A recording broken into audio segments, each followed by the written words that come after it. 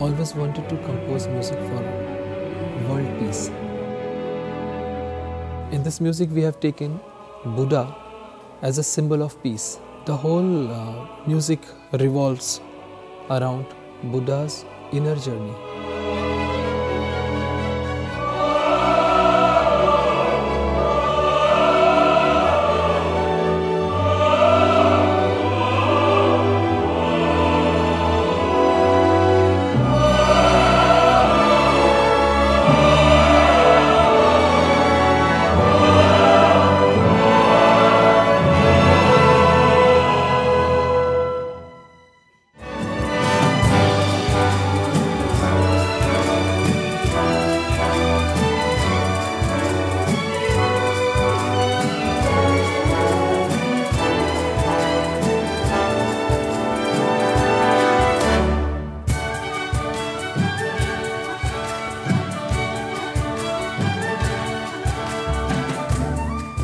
There's the meeting really of East and West, of Indian music and then the Western orchestration.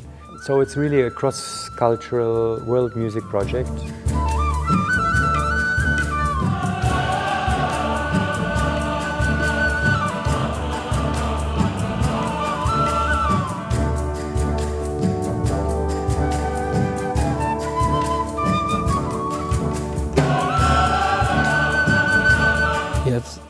Six um, uh, world famed soloists with us.